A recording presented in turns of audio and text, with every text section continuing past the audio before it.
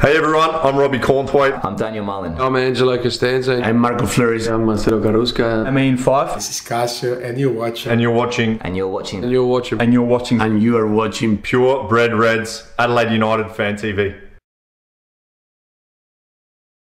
And welcome to the Pure Bred Reds Adelaide United Fan TV. I'm your host, Ellis Gelios, and I'm joined today by a foundation player of Adelaide United. It's his second time on the show. He was on the show just under 12 months ago. It's Michael Brooks. Brooksy, how you going? G'day, Ellis. How are you, mate? Uh, thanks for having me. No, thank you so much for being with us. Uh, Michael Brooks, obviously uh, a very, very significant person to have on the show after the unveiling of Carl Veart as the uh, interim manager for Adelaide United for the remainder of this very strange season. Brooksy, you played literally alongside Carl uh, across various stages of your career. You were both at the club uh, as foundation players during the 2003-04 NSL season, and you obviously played with him back in the Adelaide City days as well. What are your sort of uh, fondest memories of, of playing alongside Carl over over a great career that you both had? Yeah, well, our association actually starts um, a little bit further back from that, Ellis. We uh, we both grew up in Whyalla um, as young as young kids, um, and both moved to, to the big smoke, if you like, of um, of Adelaide, and and both made our um, our debuts for uh, for Salisbury United in the old um, what was the State League One, and then Carl moved to uh, to Adelaide City, and not long after I moved to Adelaide City as well. So, look, Carl. Carl's always been one of those unassuming uh, types of fellas very quiet. I remember um, back in the day at Adelaide City when we were training at Salesian College down near the old Burbridge Road, Sir Donald Bradman Drive, and and uh, Zoran used to have to make him when he came into the change room to say hello because he just basically wanted to come in and train and and and do his thing and then go and and that wasn't because he was rude he was a, probably just a shy country boy but um, he's always been very um, very shy very cool, very um, unassuming, um, and I would expect that he will take this into uh, into his coaching ranks as well. Now that he's the senior coach at Adelaide United. Michael Brooks, a Football South Australia Hall of Famer, of course. Uh, now, you had, you had some great memories uh, playing alongside him, I'm sure. Uh, you then both have uh, touched on on being managers as well.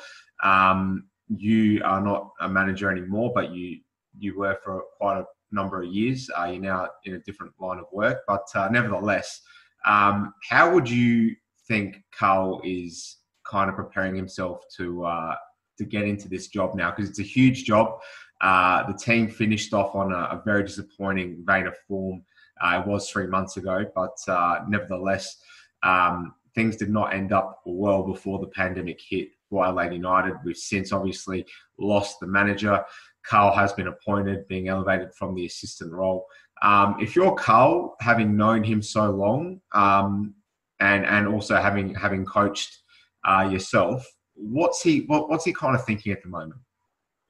I think um, I think first and foremost, what was quite apparent bef- before the pandemic hit was that it looked to me like a lot of players weren't enjoying their football, and um, I think what Carl will have the ability to do is to to maybe just release that valve and get the players back enjoying their football and, and wanting to be at the training ground and, and wanting to be around each other and you know and not sort of just looking to you know to train and then leave straight away. So I think Carl will have the ability to um, to, to talk in a calm and calculated manner um, still get across what he needs to get across. And that doesn't mean that trainings will be easy but it, I, I would expect that there'll be you know, a few more laughs around the training paddock uh, during trainings. And um, I, I, think that's what Carl will, will bring. And um, he's got a tremendous amount of knowledge. Um, he's been, you know, around the traps for quite a while. He's now been the assistant coach at United for, for nearly 12 months, I, I suppose. And um,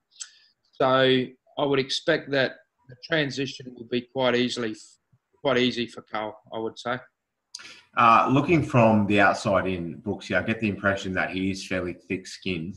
Um, with the fact that he hasn't got much experience as a senior head coach, sort of make him second guess himself at all? Is he that kind of character, or is he just going to do what he knows and stick to what he knows? No, I don't think Carl's the type that will second guess. Um, he's got a lot of good people around him. I mean, Eugene's obviously stayed, um, but outside of um, probably the immediate club, you know, he's he's got some good friends in in Richie Alagich, Damien Murray.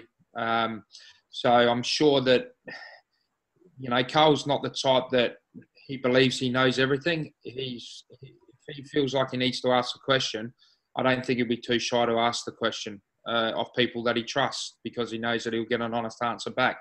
So um, I think he'll do it his way. Um, and to be honest, I think he needs to do it his way because if you start as a manager trying to be someone or something else that you're not, players will see through that. And um, and I think that he'll just attack it in his in his nice calm manner that he normally does. But don't worry, Carl's got a he's got a he's got a nasty streak to him as well if he needs to. You know, all professional, ex-professional players have. Um, that's probably what makes them the type of um, sports people that they are. So, if he needs to um, ruffle a few feathers, I think he will.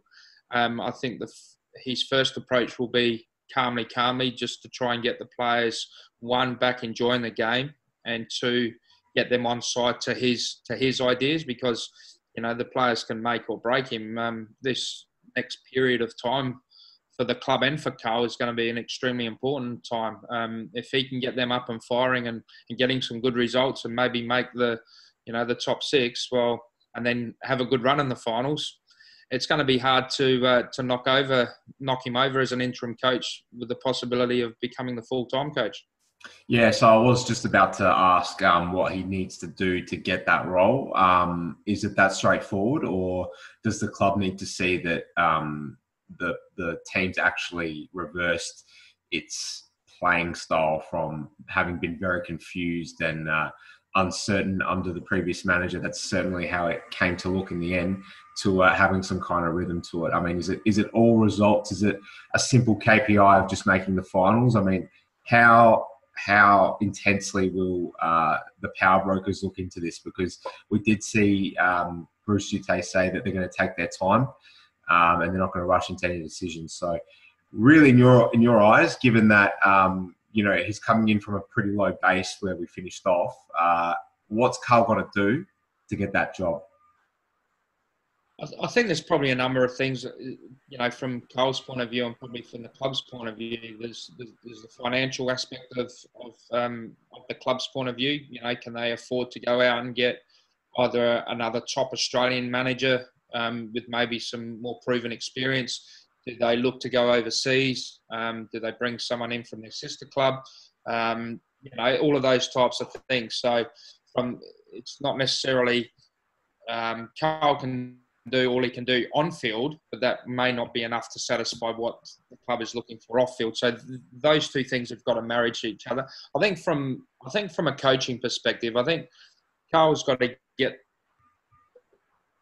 one the the, the playing group unified, two playing an, an attractive brand of football that the, the supporters and and the the supporters of the club and the people that go to Hindmarsh Coopers, they want to be inspired to go back and watch them again the following week. There's too many times over recent times that as a supporter you go there thinking, you know, who, who, who am I going to watch explode? And we've got some great players, you know, with your McGrees and your and James Troisi's and, and so on. And, you know, you want you want them to be able to feel like they've been unshackled to be able to play the game that they can play, not be restricted. And I think if Carl can galvanise that group, get them playing some good attacking, attractive football, and above all, you know, it's in any sport, it's the W's and the and it's the L's column, and it's the wins and losses.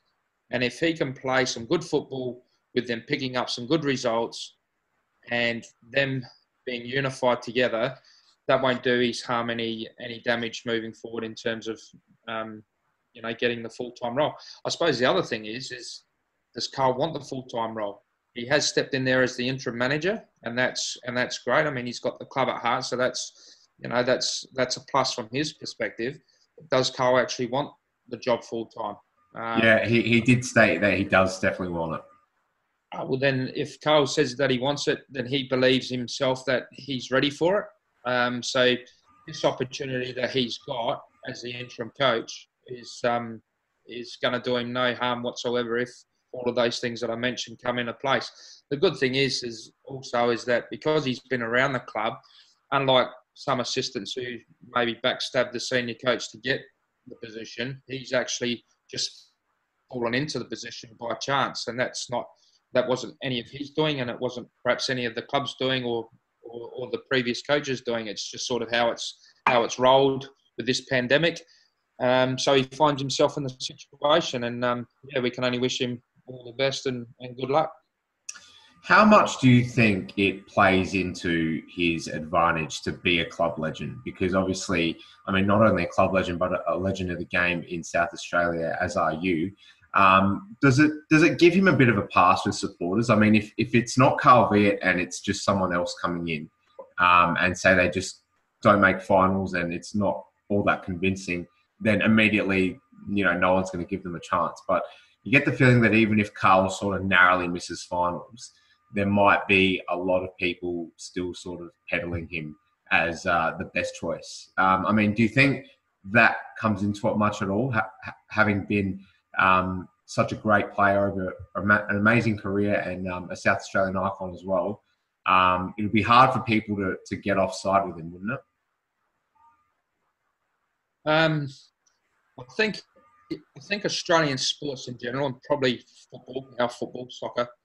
I think you find that um, that would probably help initially, but sports supporters are so fickle, and at the end of the day, if the if the team and the club aren't playing or moving in the direction that supporters want.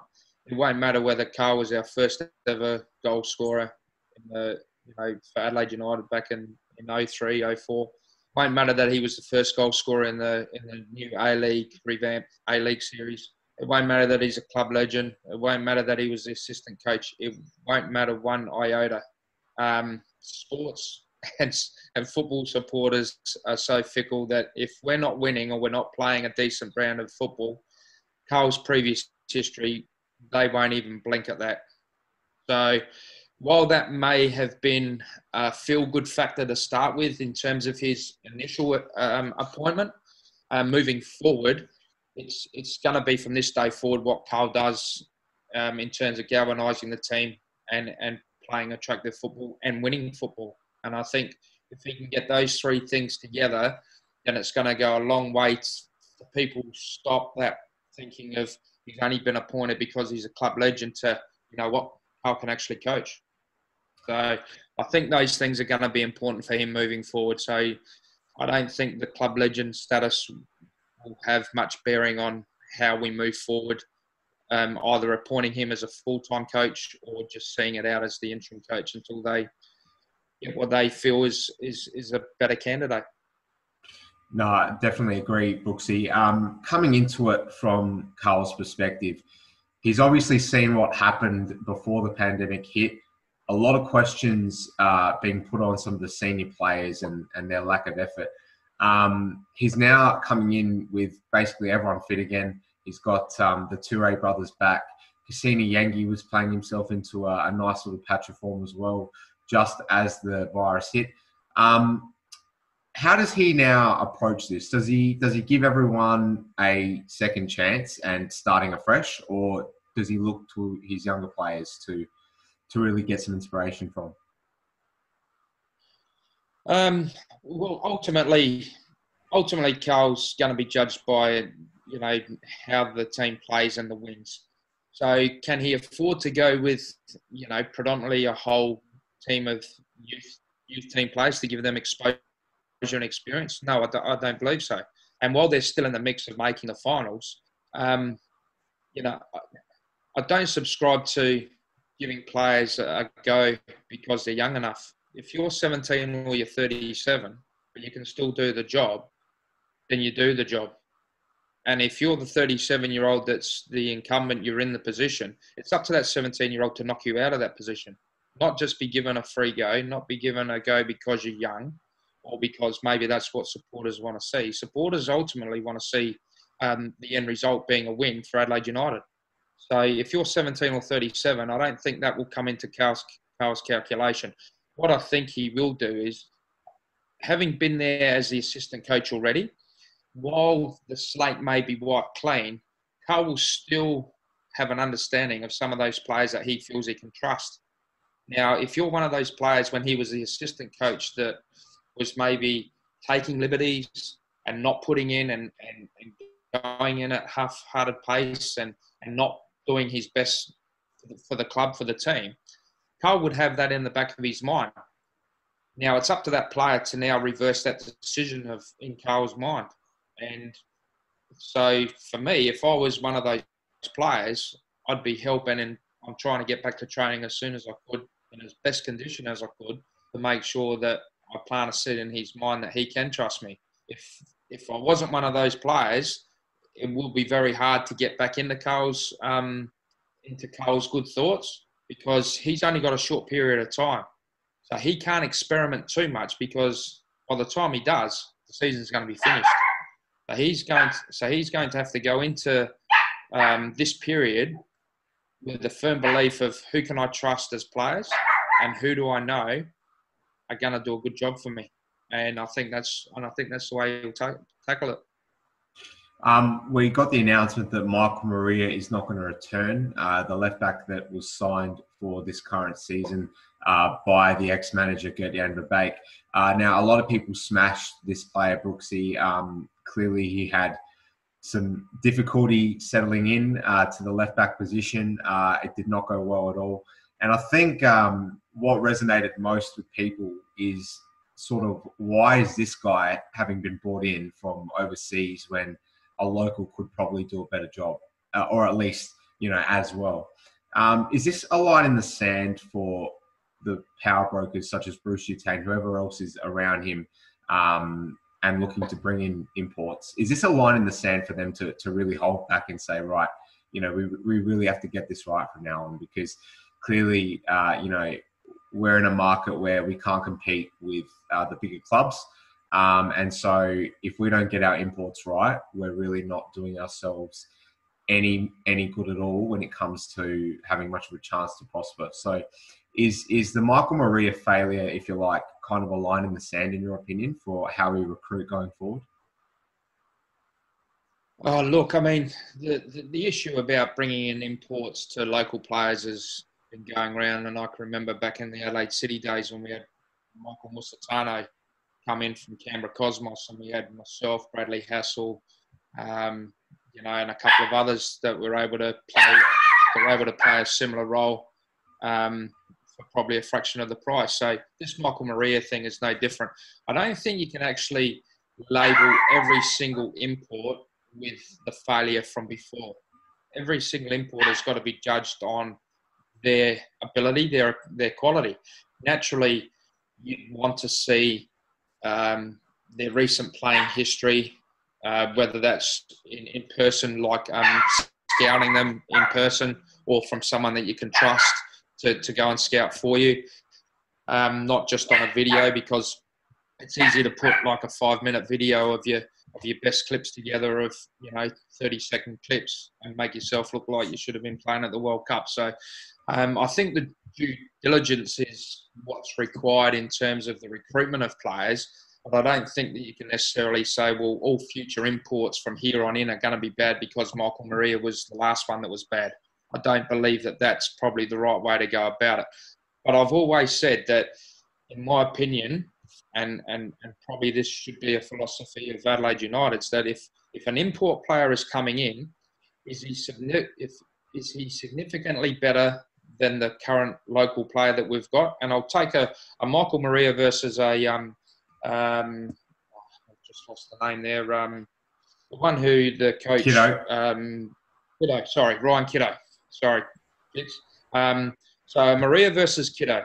Now, if Maria is not significantly better than Kitto, why are we bringing in Maria on X amount of dollars as opposed to a, a local player who okay, is not much worse or not much better, either or, but has that uh, connection with the club being one, a local, two, in terms of the people that will come to support because of that, that affiliation with a local South Australian player, like it was back in the first year. So, so the import player, in my opinion, has to be significantly better. And if they're not, then don't bring them in. Yeah, I couldn't agree any more, Brooksy. I think uh, it's as simple as that, really.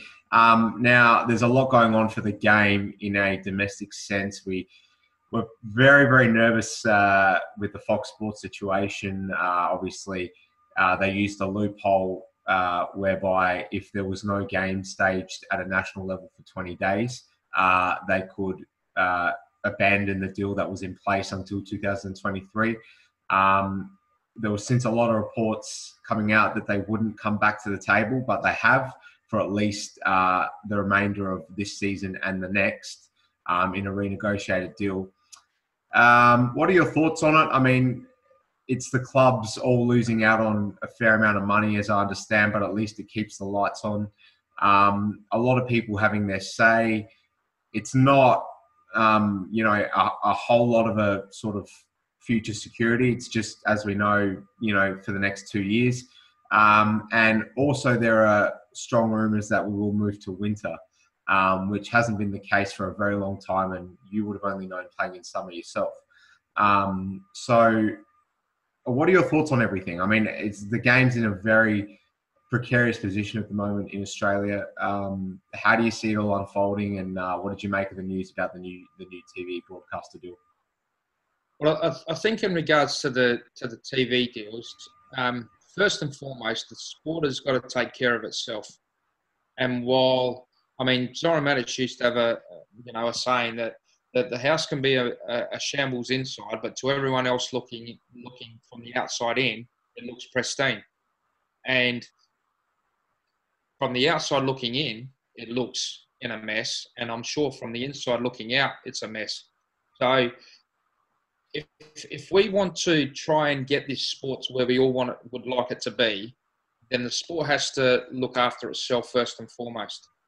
And for the last 10, 15, 20 years, I don't think the sport has actually looked after itself, and I don't think it continues to look after itself. Um, you know, I my debut year was when it went from the winter league to, to summer soccer. The reason it went from winter to summer was because we couldn't compete with the AFL and the rugby leagues of the world in terms of marketing, in terms of sponsorship, in terms of crowd, in terms of um, the exposure, both print, media, internet, like we are now. You, you just don't get that in the Winter League. Now, it's okay to say, well, that means we'll be aligning our um, our national competition with our grassroots football, but maybe we should be realigning the grassroots football with the national competition.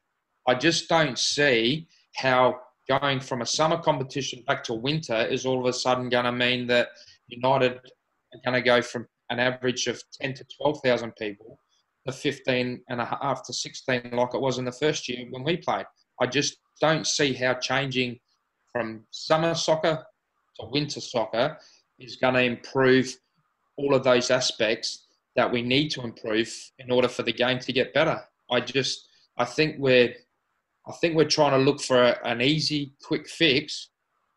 instead of doing our due diligence and doing it properly, we're looking for someone to try and bail us out and help us out when we're not getting our own house in order. And that starts from the grassroots right to the to the seniors. I mean, correct me if I'm wrong, but the, the push to get the, the juniors playing this year was for, in my opinion, was probably for one reason only, because the seniors or the club has spent the juniors' money on seniors, and therefore, if there was no juniors, they wouldn't be able to give the money back to parents.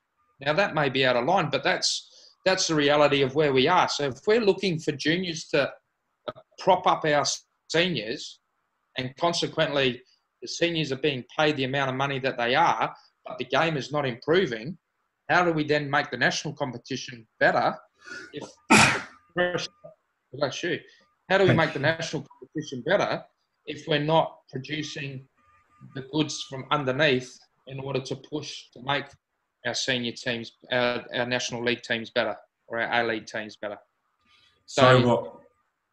So, so, so our sport has to take care of itself before we, we, we put out the, the hands and ask for others to help us out.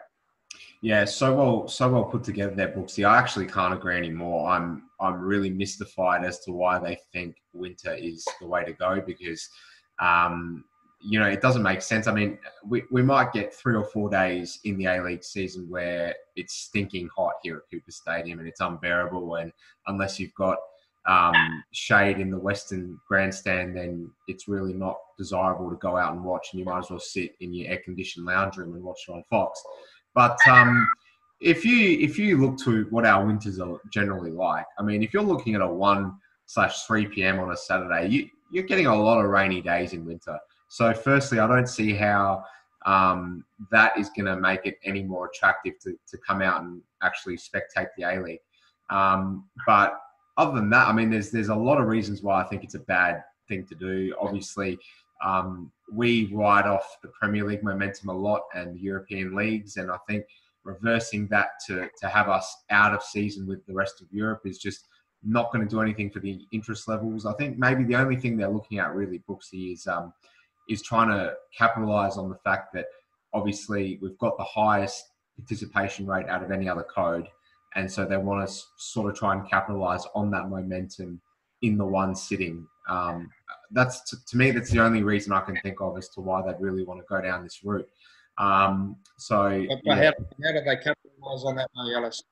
How, well, how do they capitalize that See, to me, what, what I believe is the, the underlying factor, and again, it's it's it's it's not necessarily in the betterment of the game, but it's in the betterment of the individuals who run individual clubs, and that is some of those that believe that they should be playing in the in the A League, being the second tier, now think that if they move the A League from the summer to the winter, they've got a better chance of being able to force a second division where they're then able to play in a, in order to try and make it to the A League division. And the reality is that you go back to those winter le- winter days, and I remember going to Hindmarsh, and and I won't say the clubs, but there were some clubs that used to count two legs as one. Uh, uh, sorry, a pair of legs as two attendances because it was two legs instead of the one person. Right. You know what I'm saying? So yeah. there's 1,500 there, but they're counting it as 3,000 and there was no way in the world there was 3,000. So yeah. again, to me, it's it's driven by by probably those that want to be involved in the second division because they believe that they should still be in the the old national league. The reality is that the quality the quality is not there in order to have a, a quality second division and a quality A league. There's barely enough talent in this country. Go go. There's barely, sorry, barely enough talent in this in this country to have a quality A League. Um, no, it makes makes a lot of sense. Yeah, um, Brooksy, I've got a bit of an interesting one for you. Um, the club is doing a U Design It challenge regarding its logo. Um, now, you played for the club logo. when when it had its only other logo ever in history, which uh, it then changed uh, going into the A League era. Um, do you have any issues with the logo? Should it change? Uh, yeah, yeah, I do. Yeah, yes. I do. I, I, do have a big issue with the logo. Uh, I think it's I think it's nice for uh, for a you know for an opinion and for you know something that's helped to pass the pandemic time of day. Um, but I'm not a big fan of changing logos every other year, every five years, every ten years. Um, I was natural because obviously I was part of the first one. It, it, was a little sad to see the first one go to the second one. I do understand that in order to try and um, be of a marketing appeal to the different uh, age groups, um, I, I did understand the change in the logo from the first one to the second one. I didn't mind the 10 year anniversary, of which you know, we were lucky enough to get one of the tops that's over your uh, your left hand shoulder. Yeah. Um, so I didn't mind that. But in terms of like in terms of like our club logo, our club logo should be our club logo. That's only my opinion. Um, you know, I'm not that older fuddy duddy that I'm still stuck, you know, 40 years ago. But I believe that that's that our logo is the tradition of our club. Um, and I don't think that it's. And having said that, there have been some really good ones that I've seen on the social media, and I thought, geez, that doesn't look too bad. But mm. I hmm. want that as my permanent badge. No, I don't. I still want our Adelaide United logo as our badge. Thank you, Brooksy. I can't believe how much we see eye to eye these days. Um, I will just bring you up on one thing. I think the reason why they uh, disbanded the NSL logo and went with the A League logo was actually, and uh, your former colleague Nat Harrison told me this that um, apparently the ball uh, was uh, there was a copyright claim put in by UEFA because the ball looked too similar to the Champions League ball, and that's the reason yeah. why they changed it. Yes, yeah, no, I, I have heard that before, Ellis, and uh, so you do naturally understand because you wouldn't want to be you wouldn't want to be sued by those guys, but uh, that's fine from there to there. But now I just think the logo that we've got should be our logo moving forward. But I, I, like I said, I, I have enjoyed having a look at some of those other ones, and there has been some some good ones that's incorporated, you know, our our, our state flag and you know the city of Adelaide and churches and know the magpie or the maggot, um, the piping magpie. So uh, there have been some good ones, but for me, leave it as it is. No, I totally agree. Um, going forward, Brooksy, we're hearing that uh, there may well be a opportunity to let crowds into games played to finish this season. It depends where those games will be, but there's murmurs that uh, there'll be crowds at Adelaide United games if they're played at Coopers Stadium. Um, do you have any issue with that at all? Oh, look, as as long as the health authorities have given it the okay that we're able to. Um, I think naturally everyone's biggest concern is that if there's, you know, the same with the protesting where, you know, we had some positive cases, not so much from, from Adelaide, but from Victoria, and they seem to be doing things a whole lot differently to us, um, which is baffling in itself. But, you know, you, we've just got to be careful of this potential second wave and potentially exposing people to, um, you know, to, to to the ability to be able to, you know, contract something again. And, um, you know, I'd hate to see some of the older supporters of our of our club go to go to Hindmarsh, and then in you know in two or three days' time report that they they've got some symptoms or you know mm. they they're feeling off, and all of a sudden, you know, potentially we have we have a death because I don't think anyone would want crowds if that leads to a potential death. So we've just got to be careful. We've got to make sure that we do things right. A little bit of pain early doors means that we can try and get back to normal as fast as we can, and that's I'm sure what everyone's hoping for. So yeah, we've just got to be careful. That's all. Michael, um, you shared a change room with Carl Veart for many years. Can he do it? What What are your thoughts going forward? Look, I'm I'm extremely hopeful. Um, you know, there's, always a little bit of trepidation because you you know of the unknown. Carl's um, been in the youth development for, for quite a for quite a number of years, and youth development or youth coaching is different to senior coaching. He has been the senior assistant coach for for the past this season. So, um, you know, my hope is yes that he can. Um, I, I, wish him absolutely all the best. He's, he's a cracking fella, a scruffer. Um, you know, those that have, have known him for quite a quite a while, he has a he has does have a, have a quirky sense of humour. Um, he is very quiet and unassuming. He can fire up, but he's and he's got passion, and um, I don't think anyone would doubt that he's got a lot of passion for Adelaide United. So all we can do is is wish him the best, um, be with him, support him um, try and get behind him as best we can, and um, see if we can cheer the boys on to, to a few wins leading up to the finals.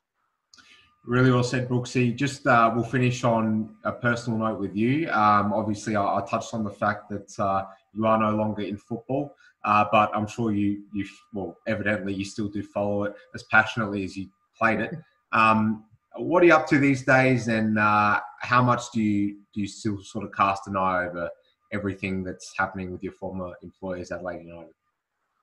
Um, uh, look, I'll, I'll, always love the game. I'm, I'm definitely not in love with the game. That's that's um, very clear for me. I'll, yeah, so uh, I'll always love the game. Always keep a um, you know a, a, passionate eye and interest on on how the club's going. Um, you know, they gave me a chance when I was 33 to, to, to play National League again. So um, and it was the people's team. And I, I, think that's the one thing that I've always loved about um, our club is that it incorporates everyone. And um, I hope we can get back to feeling like everyone feels like they belong at Adelaide United, not just a select few. I think the, the club's still got a little way to go from that perspective, but um, Yeah, so I'm just uh, I'm playing golf now. I'm playing golf quite a few times a week when I'm uh, when I can, and um, just bought myself some new TaylorMade clubs. So TaylorMade Australia, there you go. Um, nice shout out. so uh, yeah, just enjoy getting out on the golf course with with a few mates now, and um, trying to release a bit of the uh, the aggression and anger on a little white golf ball. is that is that just the thing to do when a footballer retires, Brooksy? I mean, it seems it seems to be the the, com, the common hobby that every footballer has after playing uh, around the world, playing golf. Yeah, I, think I think the reason for that is is because it's a little less strenuous on on the joints that have been running around for 20 or 25, 30 years or whatever it's been.